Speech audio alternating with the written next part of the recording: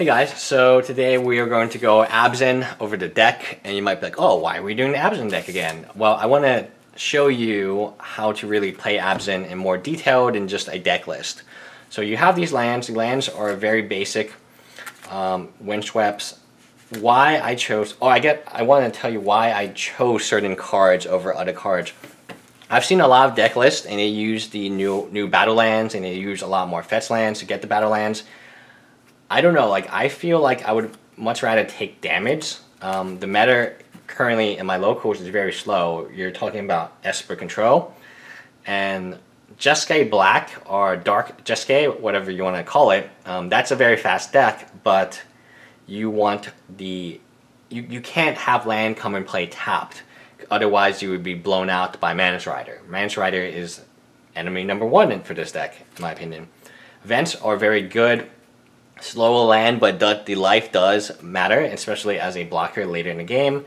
And then you have your waste. You have one Vista to pull from your four fetch lands. Got Jungle Hollow for the lands, uh, two Forest, and a Plains. So mainly this land base is very... It allows you to interact quickly but at the same time with the events you can play the long-term game. Now I'm trying to figure out what my sideboard is. This is my sideboard. I don't play a full playset of this. Uh, getting multiples of this, it feels bad to me. And so having two of them, you can always, you're not going to really stack on that. Uh, but it is very good. It does deal allow you to go aggro. Um, late game, I don't really use it very much. I just turn it into you know, free free and smash face with it. Hangback Walker, you play four of them. Uh, what can I say about this creature? I tried playing two, but then the deck was not optimized. This is the best creature in Standard right now. It is uh, played in all types of decks, and it's very, very good. Den Protector, uh, Den Protector a lot of times comes down as a 2-1 for me uh, against the, what is it, red-green ramp, Eldrazi ramp, where they try and play the uh, Ulamog and so this card is very good. It does come down late game as a turn 5 drop where you can instantly get something back, and that's pretty good too.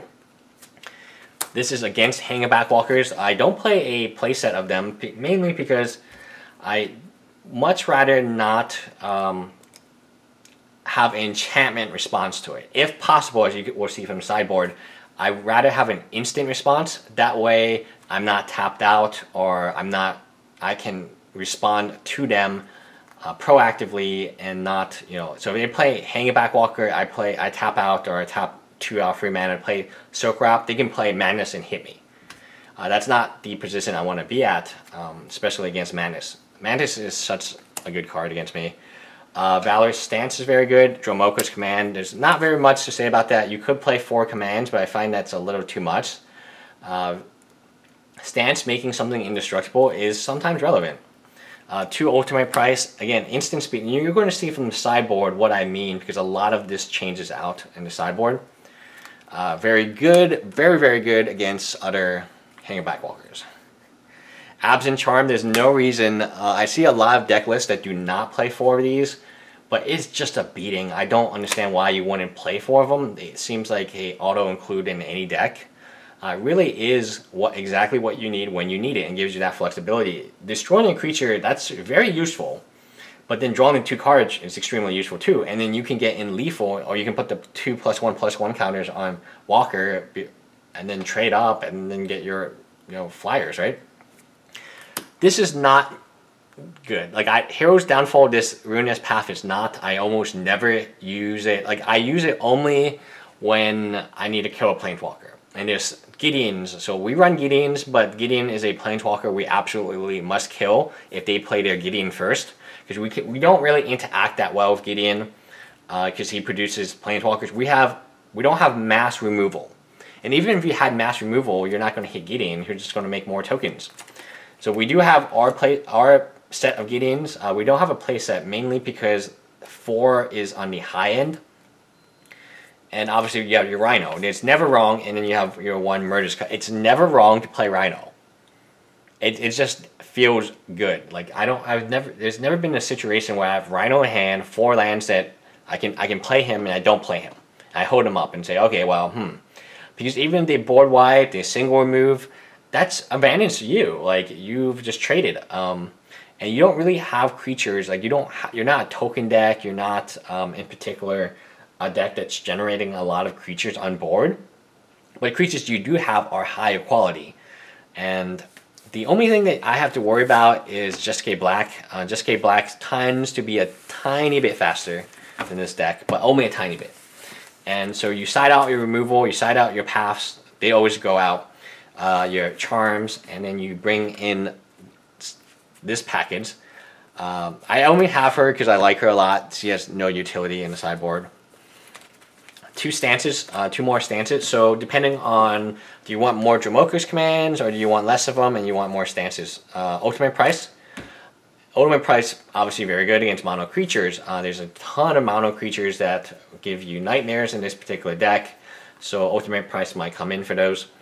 Uh, your sideboard is excellent. That's one of the reasons that this deck is so dominant in my meta is because sideboard is so good. This one kills uh, Mantis Rider and Rhino. So Surge of Righteousness at instant speed and gives you back life.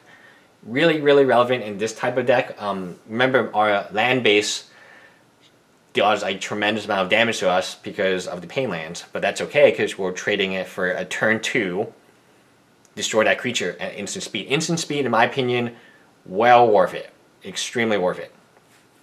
Uh, Self-inflicted wound, you guys might be like, oh, that's not instant speed. Yeah, it's not instant speed, but it takes care of um, it takes care of Mantis and takes care of Rhino. Uh, those are the two cards I see over and over again. So sideboarding against the Abzan or sideboarding against a Dark Jeskai, very, very easy to do. You just bring in like all your two drop removal. This is against burn and this is against control.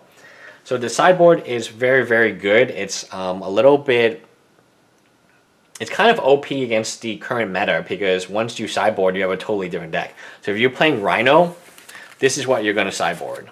Um, you probably don't need the spies. You're probably going to sideboard this, or you're playing Abzan, sideboard, you know, all of these cards. Uh, Rhino, I don't know. Stance probably. And then that's it. Uh, so you sideboard in seven pieces of two drop removal or two cost removal, five of them being instant speed. Uh, Mantis uh, Riders Jeskai Black's pretty much the same against beatdown decks like red deck wins. This card is just very OP against that deck. So very very relevant deck. This deck will be good until it rotates out until Rhino goes says goodbye and there's no reason that you know if you want to win this is the deck I play uh, if I want to have fun I play allies or I play goblins or I do FNM lion but this is a deck that is very difficult mainly because it's a sideboard in my opinion difficult to beat.